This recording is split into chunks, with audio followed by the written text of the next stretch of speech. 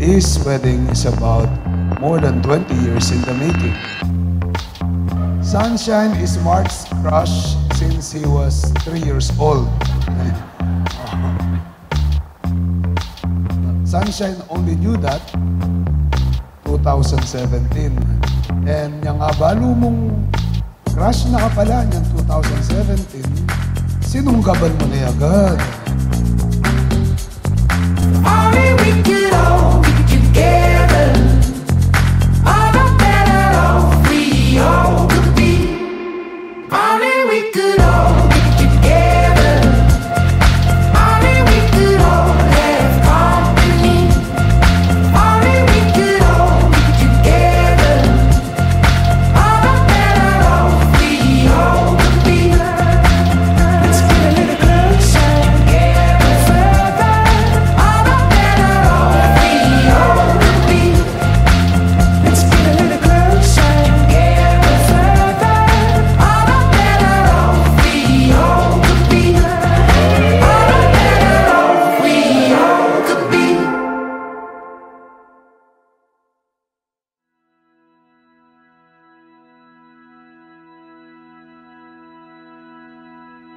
Nung anak kayo kanta, nung crush siya mo, Mark, alata sa kanang ni Kenny.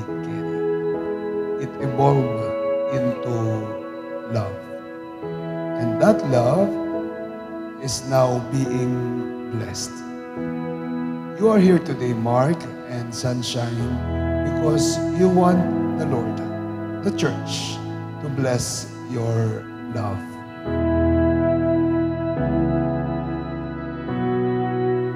Sunshine, do you take Mark here, Mark here present for your lawful husband according to the rights of our Holy Mother, the Church? Yes, I do. Mark, do you take Sunshine here present for your lawful wife according to the rights of our Holy Mother, the Church? Yes, I do.